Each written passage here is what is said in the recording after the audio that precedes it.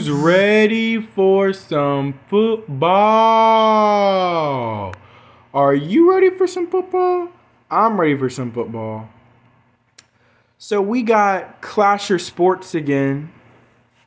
I'm trying to, you know, try to figure out what reactions I can do without getting copyrighted and still get views.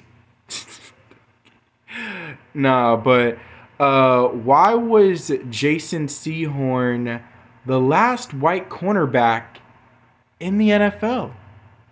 20 years ago. Why? Tell me why ain't nothing but a party. Backstreet Boys, gotta love it. All right, well, let's get into this. Let's see exactly why the last white cornerback was Jason Sehorn 20 years ago.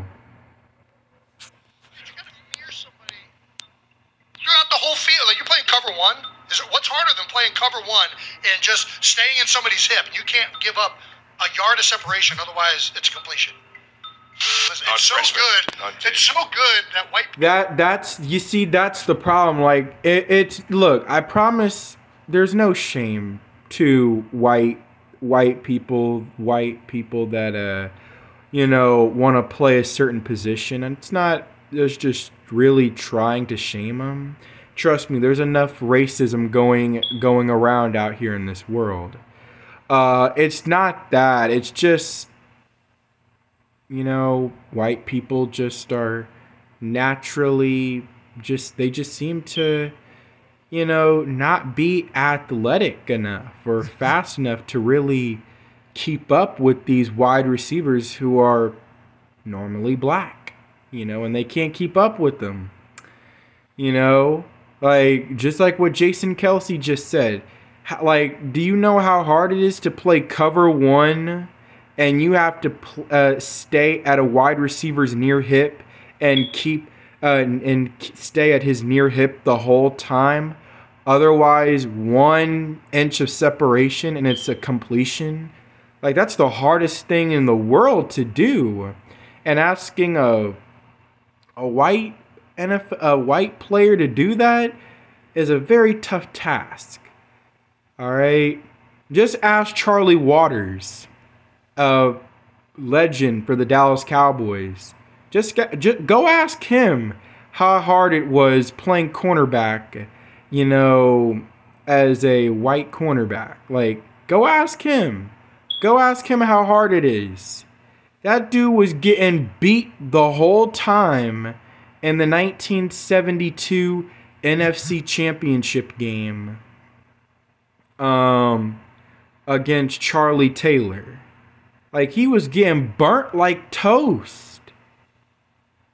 You know, he just wasn't fit for the cornerback position. He just didn't have the speed to play corner at all.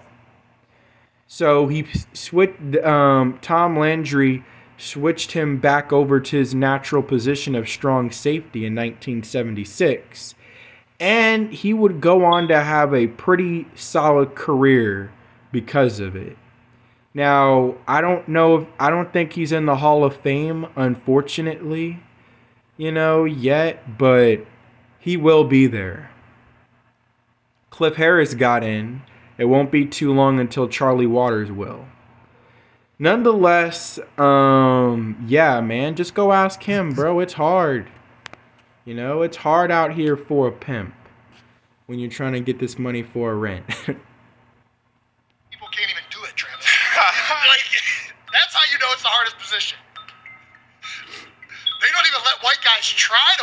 quarterback anymore. like they just said, you're done. It's too hard of a position. Uh, it's too physically demanding. Can't even That's funny as hell.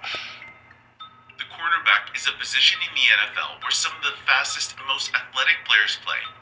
It's a position that relies heavily on immense forward, backward, and lateral speed, as well as anticipation and quickness. It requires one to defend opposing wide receivers that may have the speed and quickness of that of a cheetah.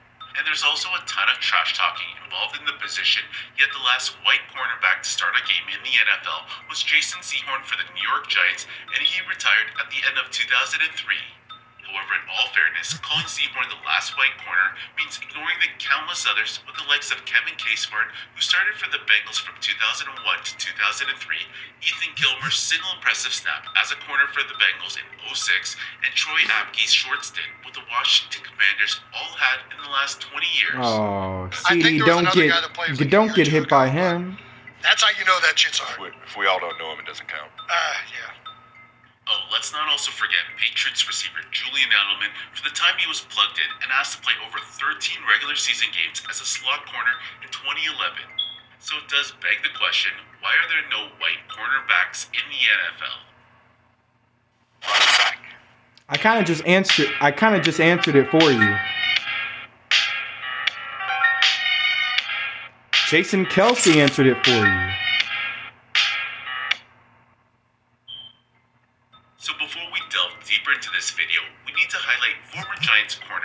Sehorn, who was the last true starting white cornerback in the NFL.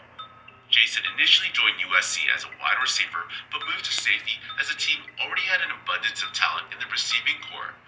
It was the summer of 93, and Jason was a soon to be senior who was struggling to find space on the field until a little bit of stroke of luck came his way.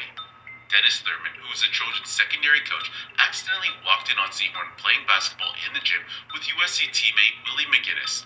And as the story goes, this chance encounter opened Thurman's eyes as he saw the receiver show some remarkable ability on the court to the point where he later claimed that Jason was the most athletic player on the team. And this is how the soon to be safety got his first big break in the secondary. Jason Wow. Sehorn would eventually be drafted 59th overall in the second round by the New York Giants as a safety. However, it soon became apparent to the organization early in his career that he was also Dang, capable of locking up the playmaker. His tremendous athletic ability, coupled with size and speed, and knack for making spectacular plays, made Sehorn a very solid corner. However, Yeah, you see, that's the problem. Like, you don't see that very often. A white guy with that kind of size, that kind of athleticism, that kind of speed, physicality. It's not very often that you see that all built in, all built into one guy like that. You know, it's just you don't see it very often. That's why they just most coaches just don't give him a chance. 1998 preseason game saw the California native decline in production as more nagging injuries soon came his way. Jason's NFL career spanned a total of nine seasons, where in total he recorded 458 tackles with 19 interceptions, and one of which was ranked seventh all time by NFL Films after Sehorn made a circus grab while flailing and rolling on the field. Oh, yeah, I remember it in for that. Six in the 2000 divisional round against the Philadelphia Eagles. That season, the New York Giants made it all the way to Super 35, getting by the Vikings in the championship game after Sehorn single-handedly shut down the best wide receiver in the game in Randy Moss. Randy The Giants would Moss? eventually be stopped short of glory after losing to the 2000 Baltimore Ravens. Yeah, that dude was good. But nonetheless, Jason Sehorn started 73 games for the Giants at corner and eventually signed with the St. Louis Rams as a safety in 2003. Oh, by the way, Jason also had a national commercial advertisement for Charles Schwab along with renowned NFL trash talker Shannon Sharpe. You pay transaction fees on your mutual funds. Your mama pays full commission. You know how to calculate a PE ratio?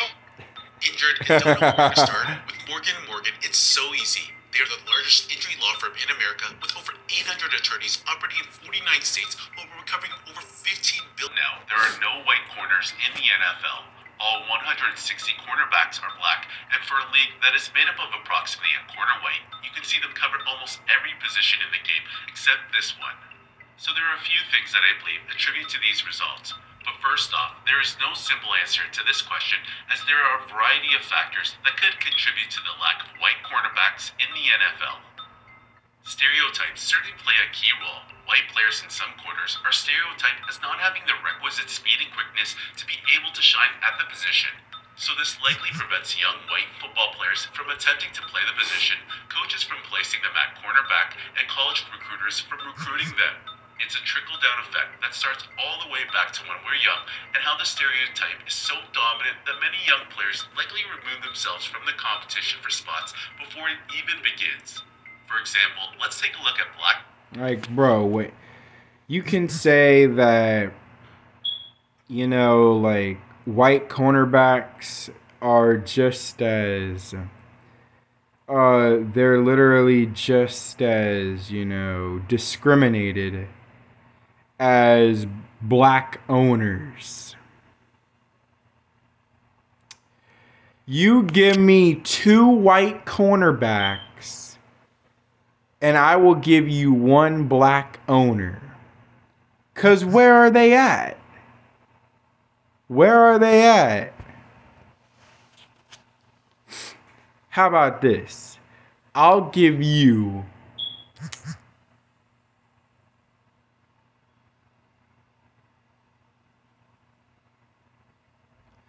I'll give you three black coaches head coach, offensive coordinator, and defensive coordinator. And I'll give you one white punt returner. Because where are they at?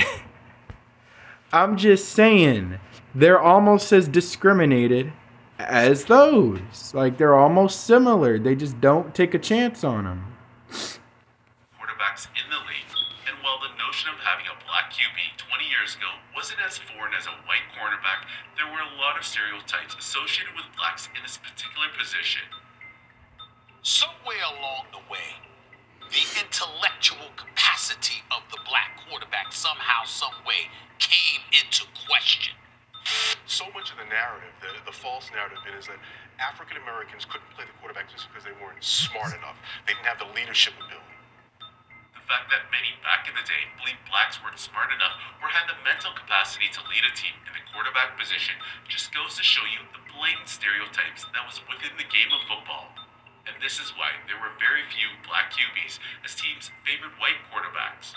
Fewer black kids in Pee Wee leagues got the chance to play QB, and the same was true in high schools and colleges, hence, we only saw a handful of black quarterbacks make it to the pros. This has since changed, as lately we've seen an abundance of blacks in the quarterback position breaking the mold, leading teams to Super Bowls, winning league MVPs, and basically just changing the whole overall perception of race in the position. Yet sometimes this process of change may take longer for some others. Then you've also got to consider the fact that with so many successful black quarterbacks in the modern game, this will translate and affect the youth as they too will try and emulate their heroes and play quarterback from a young age. And as time passes, you will see more and more coaches no longer pushing black youth away from playing QB, and this is one of the main reasons why Jason Sehorn was one of the true last Little white League really doesn't count sometimes. The fact that he was automatically pigeonholed into playing another position until his coach caught a glimpse I mean, just think like the goes to show you a football is almost as big as their god as their goddamn head. former NFL player How can they throw it at that young of an all throughout his age? Had to say when pressed if he felt race had anything to do with his switch. Yeah, I felt that way 100%. I knew it. The former safety kind of initially tiptoed around the question because, like many other white corners who didn't feel like they received a fair shot, didn't want to come off as a whiner, excuse maker, or use the race card. However, I think this one quote from former Washington DB Brian Davis summed it up best as he didn't sugarcoat his response when asked by Sports Illustrated. Davis went on to say, If you're a white corner, you're guilty until proven innocent. I'm not going to be politically correct about this, he warns. It comes down to this how many white guys are effing fast enough to play cornerback in the NFL? Yes. Very, very few. It just doesn't Very, very often few. in white bodies. Even if I'm a white coach or a coach who's pulling for the white cornerback, I'm still thinking, why is he here? I don't want him. He can't run. He can't jump. He's too damn nice. That's another stereotype, by the way. Nice, polite. NFL coaches want an effing baller. Next, and this will certainly be a bit more of a controversial reason for some, is the fact that plain and simple, blacks tend to be more athletic than their counterparts in sports that are more accessible to them. In general, they're faster and taller, with longer Achilles tendon and shorter calf muscle, which allows them to excel more in sports that involve a lot of running. Their bodies explode faster, run faster, and have a fast twitch muscle advantage over other races. And you don't have to be an Olympics enthusiast to know that those from African descent dominate the 100 meters. Simply put, blacks possess an inherent physical advantage for athletic competition.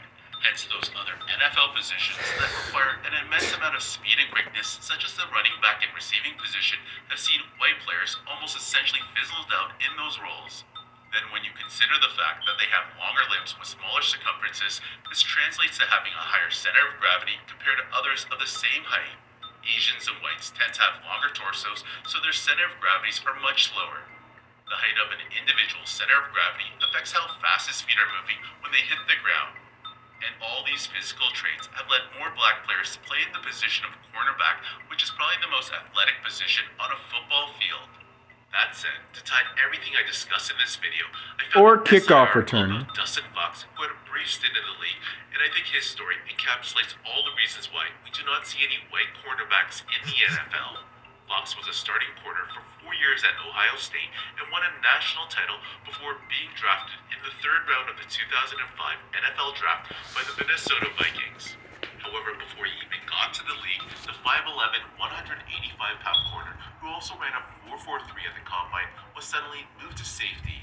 Dustin arrived at the 05 combine expecting Dang. to see his name listed with the other corners, but instead found himself amongst the list for safeties, none of whom were smaller than Fox's 191 pound frame at the time.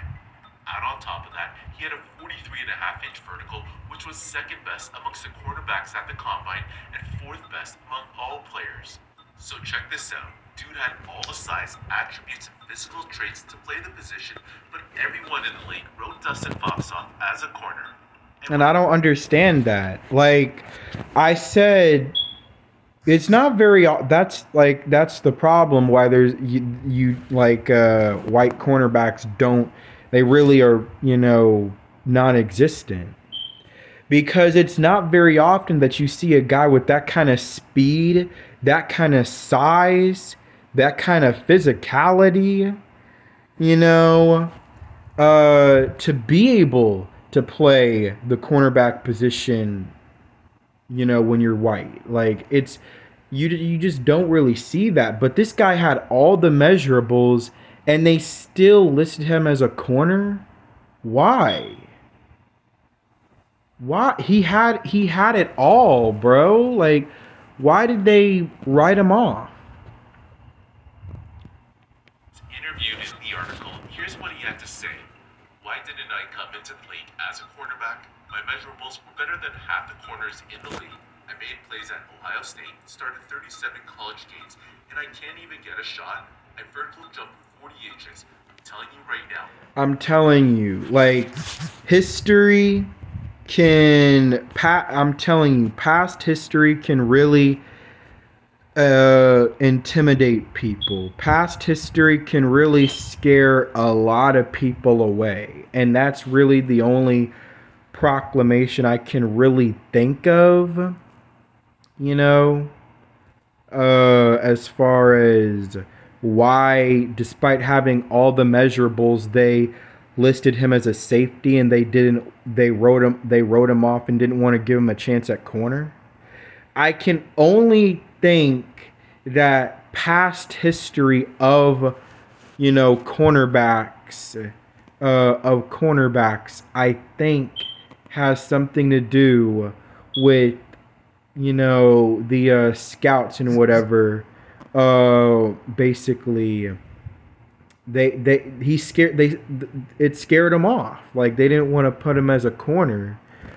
So they decided to put him at safety because the past history is what scares you away sometimes. Um but i don't know. Maybe someday white cornerbacks will eventually break the mold. You never know. I don't know but you saw black black quarterbacks ended up eventually breaking the mold, you know? So you never know. Maybe same thing can happen uh, for uh, white cornerbacks. I don't know, but they've just lately been starting to go extinct. I was as good as or better than half the cornerbacks in the NFL. They got the opportunity, I didn't. The NFL was great, I always felt like I never got a fair shake playing the position because I was white. And this basically reiterates my points earlier about why there are no white corners in the league. And just think about the countless other kids who read this article and see all the barriers white players face in the position. They have to work twice as hard just to get noticed, and even if they do make it to the league, there's a good possibility they could be demoted to safety. That being said, I'm sure there are countless other reasons as to why blacks continue to dominate the corner position in the NFL, and if I'm gonna be honest, I don't see it changing anytime soon. Unfortunately, it is what it is, and unless changes are made on the youth level all the way up to the NFL, Jason Sehorn may be the last true white cornerback to ever lace Yeah, well, um, you know, I don't know. Eh, He, you could be right, but it's just, you know, I don't know, bro. Like, I, I don't know how to feel about it as far as, you know, white cornerbacks just not really being a thing really nowadays. You know, for the last twenty years, but. You know, like it is what it is, you know, but nonetheless, that was Clasher Sports. Um, subscribe to him. I will leave the link down in the description to his channel. You know, and also then come back and subscribe to me. You know, so like and subscribe. Comment down below suggestions of other videos y'all want me to watch. My last Clasher Sports video got quite got you know a few audience, so I figured why not do another uh, reaction? You know, guy clearly knows his stuff. You know, and I don't know. We might continue this. So, um, that has been my time. That is it. Peace.